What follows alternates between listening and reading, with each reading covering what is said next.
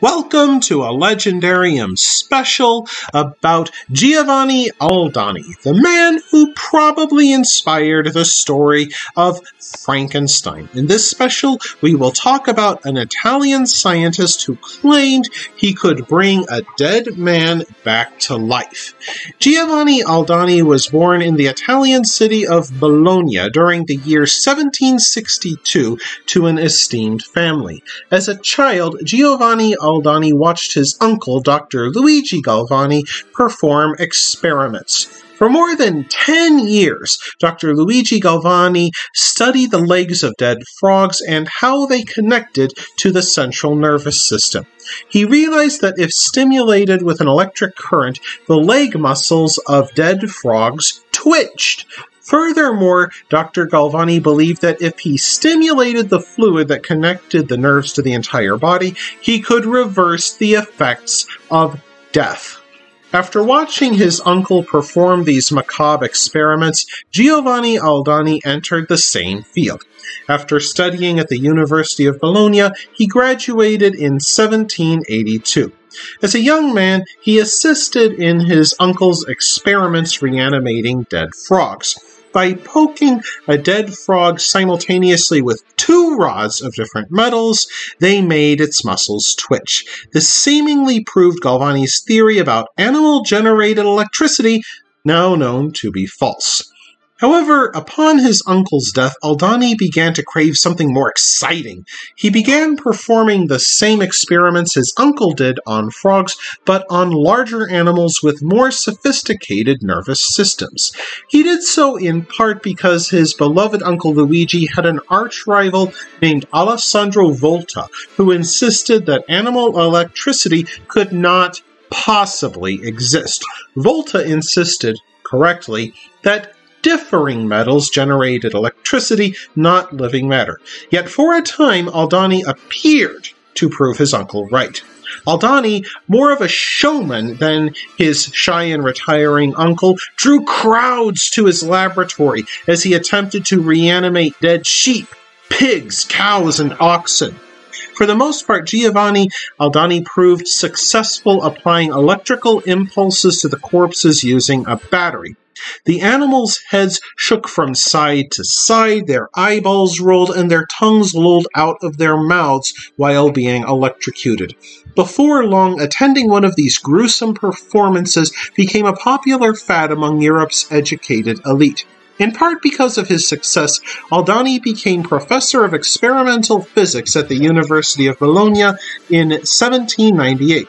Of course, Aldini alone did not carry out such experiments. In Germany, Karl August Weinhold scooped out a cat's brain, removed its spine, and filled the resulting cavities with silver and zinc.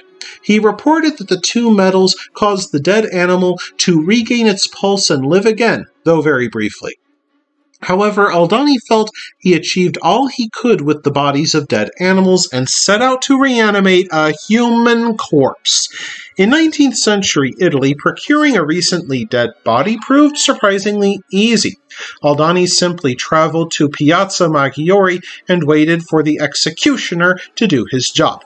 However, Aldini soon realized that the beheaded bodies drained of blood, and without blood in the veins, the electrical impulses had nothing to travel through.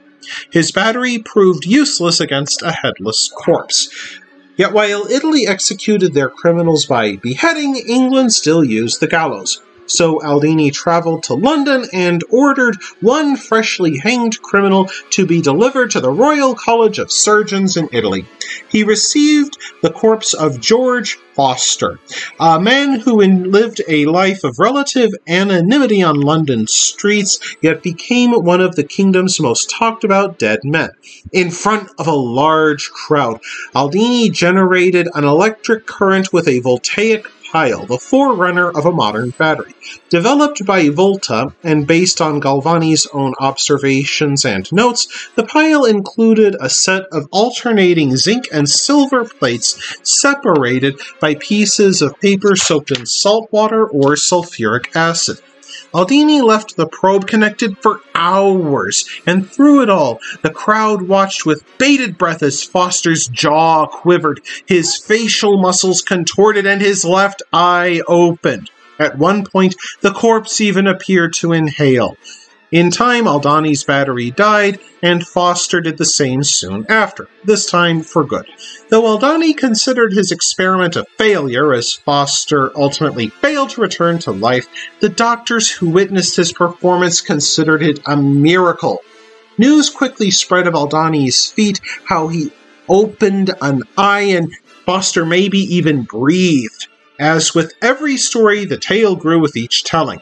By the time it reached the ears of Mary Shelley, the daughter of an English friend of Aldini's, the tale included Foster's arms lifting and his head spinning around 360 degrees. Mary Shelley later drew inspiration from the tale she heard as a child when she began writing. Her titular character, Victor Frankenstein, bears a striking resemblance to Giovanni Aldini in his intentions and methods. Of course, it remains unknown what George Foster would have done to his creator if Aldini's battery held out a little longer. After the Foster experiment, Aldini began treating patients with personality disorders using electrocution. He reported complete rehabilitation following transcranial administration of electricity. Aldini's work laid the groundwork for various forms of electrotherapy used throughout the 19th century. Even today, deep brain stimulation, a procedure used to relieve patients with motor or behavior disorders, owes much to Aldini and galvanism, the brainchild of his uncle Luigi Galvani. In recognition of his merits, Aldini became a Knight of the Iron Crown and a state councillor at Milan, where he died in 1834. And unlike Frankenstein's monster, Aldini remained in the grave. That wraps things up for this episode of The Legendarium. I hope you enjoyed it. If you did, press like. If you want to see more, press subscribe. And if you've got anything to say, let me know in the comments section. Thanks again for joining me, and I hope that you have a great rest of the day.